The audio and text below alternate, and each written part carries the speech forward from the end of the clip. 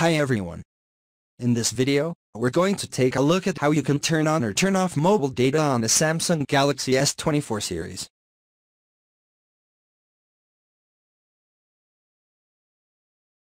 On the home screen, swipe down at the top, and tap on the settings icon.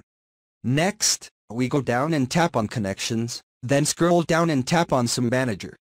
Next, go down to the mobile data section and tap on it.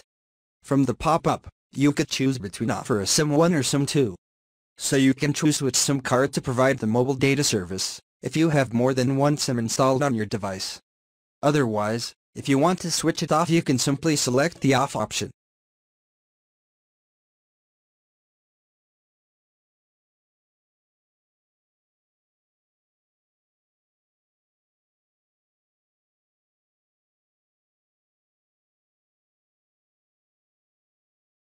Now, another way for you to quickly switch between your mobile data service and whether you want to turn it on or off is to open up the quick settings panel.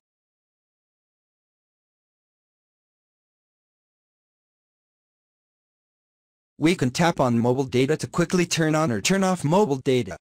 You can also touch and hold on mobile data, and it will allow you to quickly go to the more data usage page in here. You can also tap on mobile data to switch it on switch it off in here as well. So if I switch it off, you can see that if I go back to connections, it will be switch off. So right here switch off I can switch it on once I switch on you can see I have 4 grams network on my device.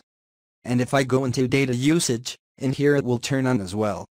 Or if I switch it off, it will turn off.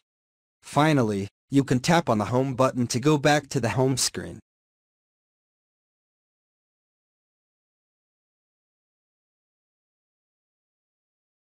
Thank you for watching this video. Please subscribe to my channel for more videos.